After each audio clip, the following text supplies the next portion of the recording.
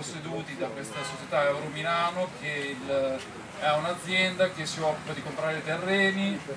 di costruirci sopra facendo progetti e di rivenderli, quindi fa tutte queste tre cose contemporaneamente. Eh, il, in questo terreno, che è sempre stato eh, visibilmente un terreno agricolo, ha progettato di eh, questi terreni, di, eh, qui limitrofi, di farci un nuovo quartiere da 20.000 abitanti. Eh, questa questione eh,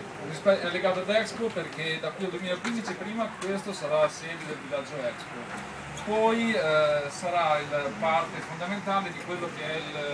il, grosso disegno speculativo di Expo che è quello che succederà su queste aree dopo Expo.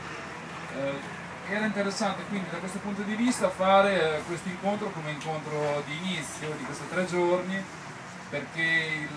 rispetto a tutte le tematiche che stanno dentro questo camp, che sono certamente anche tematiche ambientaliste, tematiche che riguardano l'autocostruzione, quindi anche l'autoproduzione del sé, esiste anche tutto un uh, discorso che è quello poi portato avanti principalmente dal Comitato No Expo di diritto al suolo e di uh, autodeterminazione dei cittadini del suolo che, il, che abitano insomma. Rispetto a questo il, L'interesse di questo progetto sta proprio nel fatto che il frutto principale del, dei lavori, dei contenuti che stanno qui all'interno eh, riguardano queste cose, lo fanno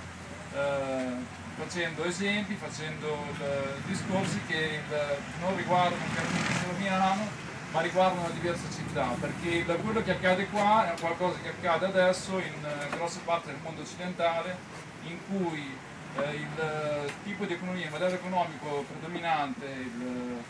quello che il, adesso stiamo assaggiando anche noi, è proprio quello di ricostruzione di città